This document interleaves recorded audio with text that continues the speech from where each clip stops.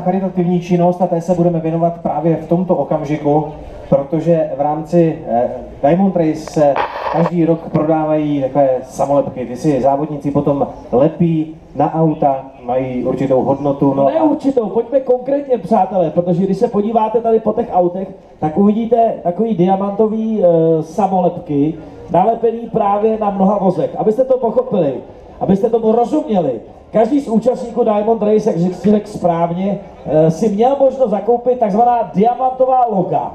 Jedna samolepka stála tisíc korun. Ano. To znamená, že kolik samolepek, tolik tisíc korun bylo věnováno na charitu. Ten eh, počet koupených diamantů je tedy prezentován na každém účastnickém vozidle. Jakou část každý účastník daroval, je tím pádem velmi transparentní. 100% vybrané částky se daruje, to je důležitý.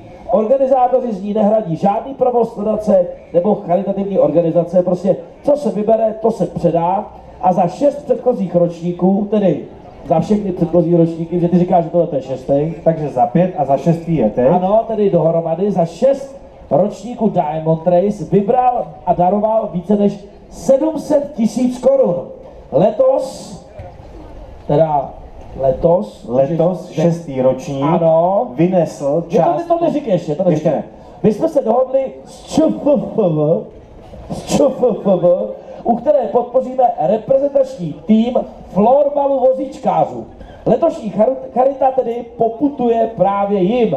Pánové, dobrý den. A mě dovolte, abych vám je představil jmenovitě, přátelé, tohle je česká reprezentace florbal vozíčkářů a je to brankář Jiří Němec, brankář Jan Krauskop, útočník a zároveň český reprezentant ve sledžoky Zdeněk Krupička, obránce Zdeněk Čížek, centr Miroslav Večeřa, obránce Jan Reisnover a útočník Matěj Čecha.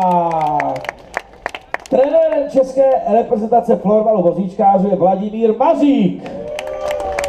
Tak, tak, aby jsme si všichni rozuměli, že to je důležitý host taky, taky neoficiálně, to a vlastně nevíme přesně, co tady podporujeme. Takže florbal vozíčkářů je atraktivní, technická a vysoce dynamická kolektivní hra. Hráči s nejrůznějším handicapem jsou tam osoby s poškozením míchy, po amputacích, roštěpy páteře či DMO, Florbal vozíčkářů napomáhá jednotlivcům k začlenění do hráčského kolektivu a následně i do zdravé společnosti a v současnosti je to nejrozšířenější kolektivní sport handicapovaných v České republice. Česká federace, kterou vlastně budeme podporovat, to je důležité, Česká federace florbalu vozíčkářů vznikla v roce 2005, je to nezisková organizace a federace organizuje každoroční ligovou sezónu, zastřešuje všechny florbalové oddíly handicapovaných v současné době je to 10 týmů, 9 českých a jeden polský, říkám to dobře, jo? No ne, tak aby lidi věděli, že jsem nepřijeli jenom jako si pro peníze. To znamená, vytváří podmínky pro rozvoj florbalu vozíčkářů v České republice. Úzká spolupráce s Českou florbalovou unii a ČFPV se zasloužila o rozvoj tohoto sportu v zahraničí, třeba v Polsku, na Slovensku, v Německu. A pozor, iniciovala vznik Mezinárodní federace florbalu vozíčkářů, vytvořila mezinárodní pravidla, dle kterých se nyní na mezinárodní úrovni hrají všechny turnaje. A teď, přátelé, abyste si nemysleli, že jsem přijde nějaký bořezávátka. Takže úspěchy. Tato reprezentace, ty vole, jak říkáš správně, v letošní v letošním roce velice důležitý mezinárodní turnaj na Paragames Breda, Holandsko. Turnaj se hraje jednou za dva roky. 2001, 11, Česká republika třetí místo, 2013 Česká republika druhé místo na mezinárodním turnaji. Paragames Breda 2015 celkem 8 reprezentací Holandsko, Švédsko, Německo, Belgie, Švýcarsko, Kanada a úplný nováček Francie. Nyní naplánovaná už třetí reprezentační účast a cíl je jasný, vyhrát. Už jsme byli třetí, už jsme byli druhý a tak dále. Mimochodem, ČFFV se bude příštím roce snažit získat pořádání mezinárodního turnaje na území České republiky. Hezky se to vyprezentovalo, Já musím smeknout, tak kdybyste to měl napsaný. Každopádně já jsem velmi rád, že pánové přijeli, že ano. můžeme eh, předat, ale musíme taky pozvat předávajícího. Ano, a to taky řeknu já. Tak to řekni. Moment,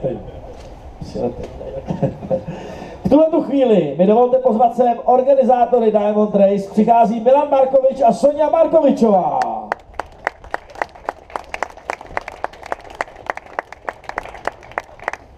No, pojďte k nám, chcete něco říct? Pojďte, ty vypadáš tak, že něco řeknete. Ale vy jste takový, jako tak ahoj aspoň. Tak ahoj všichni. Já jsem moc ráda, že jsme mohli vybrat takovou ukrutnou a urputnou částku, kterou jsem ještě neřekla. Jo, jsem moc ráda a jsem moc ráda, že jsme tady mohli přivítat taky e, zástupce e, České federace florbalu vozíčkářů. Jsem moc ráda a z celého srdce jim to přejeme, aby si to moc užili, aby si vyrazili za to někam na své, na své e, soustředění, na svoje závody a aby si ty peníze užili. A děkujeme všem vůbec účastníkům. A hlavně, aby vyhráli. No jasný. Tak, eh, kolego, teď se může prosadit ta částka, nebo to řeknete vy. Já to řeknu, tak přátelé, letos se to ještě navýšilo, protože oni se normálně, jak, jak to říct, oni se prostě na konci ještě toho dnešního dne a včerejška na poslední chvíli se přetávali ty závodníci, dokupovali samolepky prostě, aby byli ty první, protože vlastně, pojď sem ještě, pojď, tam jde o to, že kdo vlastně dal největší příspěvek, stal se šampionem, No je to, přivítejme uh, Rastiu Hurigana, Ras, Rosti, Rastislava Gotwalda, přes dívkou Hurigana. Je to nejštědřejší dárce letošního ročníku Diamond Race 2015 a dal částku 43 tisíc korun sám za sebe. 43 tisíc, 43 samolepek. Problém je, že vůbec nevidí ven teďka z toho auta. A to celý přelepený těma samolepkama, to vypadá jako dálniční známka. 43 dálničních známek. Ale vemte si, takovýhle frajer má superkáru, jede Diamond Race, zaplatí 43 tisíc a dva kilometry před Olympií mu chcíplo auto. Konec, ale jako kdyby chcíplo, jo? A zkoušeli jsme všechno, dokonce i s IT oddělení mu radili, aby vystoupil a zase nastoupil. Ne, nepovolilo nic, auto je odstavené a je k dispozici. Co to je za auto? Co? A, a, Abr, Abrhajt jedna. Přátelé, to je z Německa zřejmě. Co? Jo, Hammer! Ti nerozumím. Hammer H1, prosím vás, to auto stojí u dálnice, je nepojízdné a protože náš nejštědřejší dárce je skutečně Lidumil, tak to auto ani nezamk, jo? Co jsme si viděli, tam polský zájezd okolo, takže to auto, tohle chvíli už je z půlky rozebraný, je tam nějaký zbytek a Dneska odpoledne ho budeme převážet na dětský hřiště, kde se z něj udělá prolizačka. Odprodej za cenu šrotu. Tam bude prolizačka z něj. Takže ale nejštědřejší dárce. Tak máme šek. Máme šek, ale... Sbírku, že bychom vyhlásili na opravu Hamra. Aha. No, každopádně, já bych přistoupil k tomu šeku. Sbírku. Máme šek, ale pozor, to není všechno, ještě máme pohár. Ještě máme pohár, diamantový pohár, který je e, odměna za, nejště, za, za nejštědřejší, nejštědřejšímu dárci za to, že podaroval nejvíc, největší částku. A je to krásný diamantový pohár, který bych mu teď já ráda předala. Ano, přátelé, že nejdřív předáme diamantový pohár, pojďte takhle dopředu na fotky, pojďte. Diamantový pohár předáme tomu nejštědřejšímu dárci, pojďte takhle dopředu, pojďte. Pojďte, pojďte. A pak vlastně ten nejštědřejší dárce předá ty peníze, to je jasný. To je diamantový pohár, Rasto Hurigano je z Bratislavy, jmenuje se Hurigan a přezdívka, ale nikdo neřekne Hurigan, každý mu říká Hurikán. Mimochodem, přezdívka Hurikán, kámo, to není úplně ideální z historického hlediska, ale necháme to být. Říkal si Hurikán, kluk jako ty, vyhrál si právě tuhletu krásnou uh, cenu, takže my ti děkujeme, no vyhrál si vlastně. A, ještě, a teď vlastně ještě tady máš, jo, to je nealko, nealko moet, to je Moet, ne Alko, Virgin Moet. Ale pozor, teď, přijde, teď to nejdůležitější. Teď to nejdůležitější. Teď to nejdůležitější. 170 tisíc korun. 170 tisíc korun. něco. Velký potlesk. Já? To je ta letošní finální částka, která byla vybrána. Tady ještě něco k tomu. Já? Já ne. Já?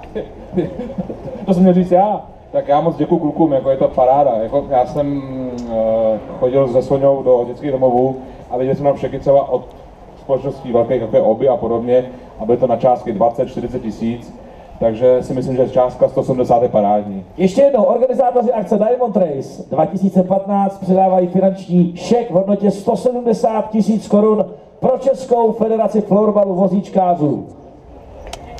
Dobrý. trenér, trenér reprezentace. Eh, Dobrý den, já bych chtěl moc poděkovat Milanu Markovičovi za to, že nám eh, umožnil tady být a za to, že eh, ta podpora, která dneska let, letos vznikla, půjde na naší reprezentaci. A jak už tady bylo řečeno, my ji použijeme samozřejmě na soustředění a hlavně na výjezd do Bredy, což není úplně levná záležitost. A jak bylo řečeno, poslední dvě účasti šly ze třetího na druhé místo a my tam s vaší podporou prostě nemůžeme jít pro nic jiného než pro zlato. Díky moc. Já jenom chci říct, přátelé, tohle to je trenér reprezentace. Jo, to znamená, je samozřejmě možnost, jestli máte prostě syna, který by chtěl taky rád v reprezentaci, je to možný, ale není to zadarmo. Taky budete muset dát takovýhle nějaký podobný šek a ty, ty, ty ho tam dostaneš potom, vej, kluku jeden, do repre. Takže je to možný. Tak, ale eh, teďka ještě se právě chce vyjádřit nejštědřejší dárce. Já tě se musím nalákat, jak na kost. Ja by som chcel želať moju ma- pani manželku. To by som na si rozprával ešte niečo. No poď. Manželka se Počkej, brání. manželka, vy jste se porozprávali o cestě, něco, a jsi pořád manžel, ty požádáš o ruku teďka. Ty už jsi zobratý, tak ještě jednou. No, to ne. Ale zase, Ale to by bylo super. Vy jste, se, vy jste se domlouvali na něčem po cestě. Teď mám trošku strach, teda. Ještě je to z Bratislavy kousek. že jste přichází nestačili. velmi potichu a velmi, jste nestačili velmi rozhodovat. skromně. Dobrý den. Dobrý den, vy jste manželka, jo? To je paní Hurikánová. Že my sme sa rozhodli zaokrúť tú sumu na nových 200 tisíc. Tak to musíme přepsat čeky. Přepínají, přepíšou se dějiny. A přátelé, tleskej mi ještě víc, mě teď mi to došlo. Oni jsou z Bratislavy, takže to je 200 tisíc eur. To je hodně. To je hodně. To je hodně, za to se dá koupit tohle. Klobása za 200, jestli bys to prodal. Je to tady, tak 200 tisíc, vám děkujeme, díky moc.